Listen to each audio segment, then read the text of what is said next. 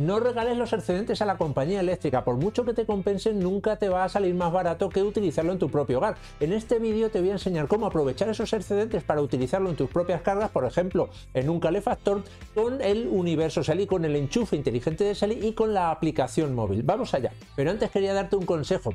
Utiliza siempre un margen de seguridad a la hora de activar o desactivar tu enchufe. No busques el, consumo exacto de ese aparato, de esa carga, porque eh, con las nubes, con los picos, con los movimientos que tiene el consumo y la producción eléctrica, siempre te va a estar encendiéndose y apagándose. Para desarrollar este vídeo, además del calefactor que vamos a utilizar con el enchufe inteligente que veis en pantalla y que se activará cuando aparezca el LED en rojo, ahora mismo aparece en azul, está desactivado, eh, voy a utilizar también otro calefactor a modo de control, es decir, para eh, controlar que se reduzcan o se eh, amplíen los excedentes dentro del margen que me está dando ahora mismo y que veis aquí que son 1300. El calefactor de prueba consume unos 1100 vatios, va a andar un poquito justa la cosa, pero bueno, y el calefactor eh, principal en el que está enchufado en el, en el Shelly Plug eh, consume unos 800 vatios. Vamos a crear primero la escena para activar el dispositivo, necesitamos dos escenas, una para activarlo con las condiciones de activación y otra para desactivarlo. Como tenemos 800 eh, vatios de consumo y ahora mismo hay una producción de, o un excedente de 1300 que va a andar un poquito justo, pues vamos a ponerlo y dentro del margen que os comentaba, vamos a ponerle eh, que se active con 1000 vatios de excedente, es decir, un margen de 200 vatios, a ver qué tal. Bueno, pues vamos a, tenemos dos opciones, o bien directamente desde la pantalla principal que estáis viendo aquí, eh, irnos a las escenas, aquí al botón de abajo a la derecha, o bien desde dentro, que luego no sé qué pasa que eh, me, lo, me, lo, trastoca, bien desde dentro pues también darle, aquí vemos un, excedente de 1,3 kilovatios, un consumo de 1,1. Bien, pues vamos, bueno, aquí tenemos varias escenas, vamos a crear otra rápida, rápidamente, vamos a llamar Cale factor. Bien, no vamos a, bueno, le damos a siguiente, no vamos a seleccionar imágenes ni nada. Bien, siguiente, siguiente.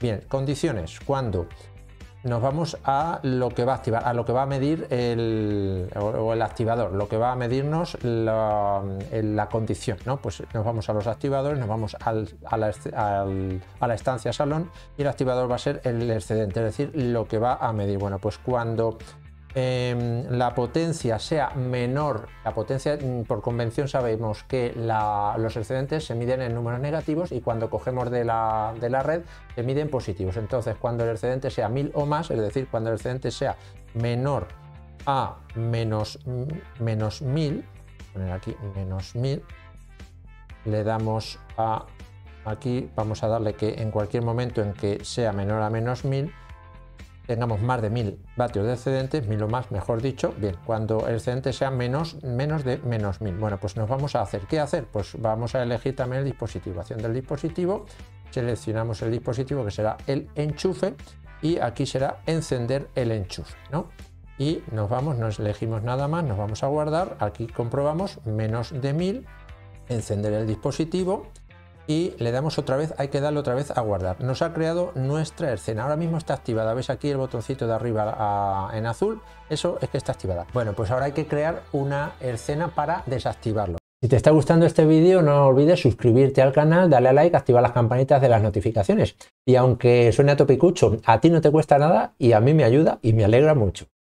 Siempre hay que tener en cuenta el margen para evitar que se esté activando y desactivando el enchufe inteligente constantemente, teniendo en cuenta pues si hay nube, esos picos de producción y de excedentes que podamos tener y evitando que cuando se apague el, enchufe inteligente cuando mm, lleguemos al, margen que hemos establecido no coja y se vuelva a, encender. Bien, pues tenemos aquí, veis, menos 42 de 1300 eh, vatios de excedente a, unos 435, pues vamos a poner que cuando haya menos de 400, por ejemplo, se nos, eh, bueno, 400 estaría dentro del, bueno, en este caso sí, porque tenemos margen de sobra, pero por ejemplo cuando tuviéramos menos de 200, una cosa así, vamos a poner, vamos a poner para este ejemplo 400, que no estaría mal. Bien, pues vamos a crear otra escena, vamos a crear otra escena que nos vamos a ir, que nos la ha dejado fuera, aunque las ponga dentro, pero se nos queda fuera. Bueno, pues vamos a crear una escena de desactivación. Ya voy teniendo yo aquí calor con el chip. Bueno, foto nada. Foto nada, siguiente, siguiente. Siguiente, vale. ¿Cuándo? Bueno, pues cuando seleccionamos el activador, es decir, donde nos va a leer, donde nos va a hacer la medida, en la pinza de excedentes. Bueno, pues nos vamos a potencia cuando la potencia sea de, mm, hemos dicho 400 o, más de excedente menores a 400, es decir, de menos 400 hacia números positivos, es decir, cuando sea más mayor a menos 400. Aquí hay que repasar un poquito el tema de las matemáticas, los números eh, positivos, negativos y tal. Bueno, pues cuando sea esto, lo elegimos en cualquier cambio y nos vamos aquí, cuando sea más de menos 400.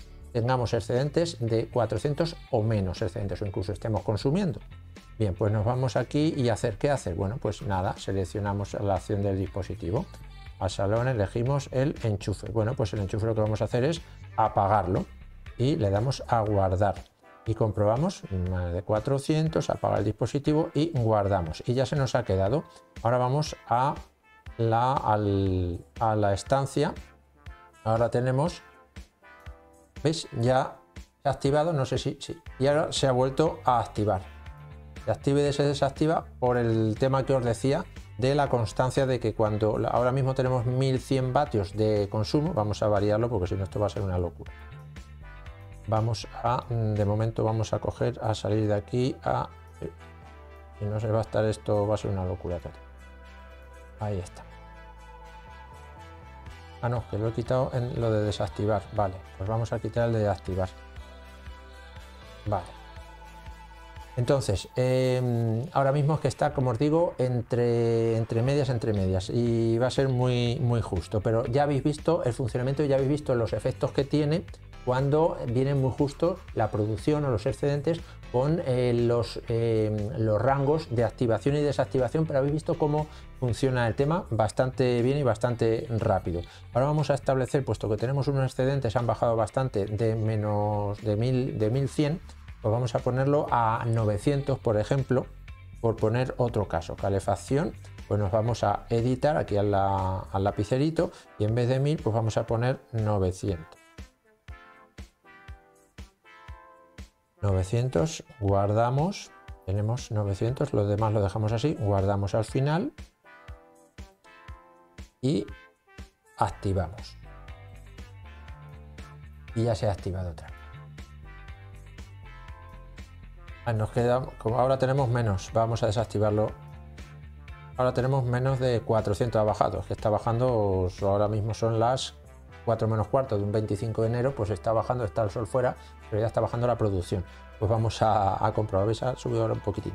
Vamos a poner la opción de eh, desactivar el calefactor, pues en vez de a 400, pues ahora mismo, pues por ejemplo a 100, que tengamos un margen Ah, he puesto un punto, no tenía que venir. A 100 menos 100, o sea, tenemos excedentes de 100 o menos.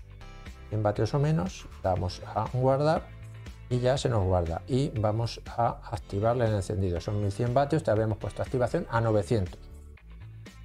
Vamos a probar. Sí, funciona, este nos sirve para probar. Ahora nos quedan nos quedan de excedentes 300 y pico hasta que no llegue a 100 no se, no se detendría. comprobar que ahora se ha quedado funcionando. Vamos a encender el calefactor de control para que baje de golpe y baja, va a bajar 1100. O supongamos que hemos encendido otra, otro aparato por ahí. Vamos a verlo. ¿Veis? He encendido otro calefactor que consume 1100. Me he quedado, eh, bueno, justito, justito y se me apaga voy a apagar esa, carga de control y en cuanto suba la medida ya se ha encendido otra vez. Así de fácil resulta controlar los excedentes con el enchufe inteligente de Shelly y la aplicación eh, del móvil y controlar dichos excedentes evitando verter innecesariamente a, a la red eléctrica y aprovechándolos en nuestro hogar.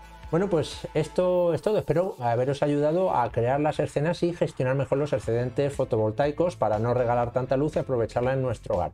Si te ha gustado el vídeo, no olvides suscribirte al canal, darle a like, activar las campanitas y ya sabes, eh, y ya sabes, si no te cuesta nada y a mí me ayuda mucho. Hasta ahora.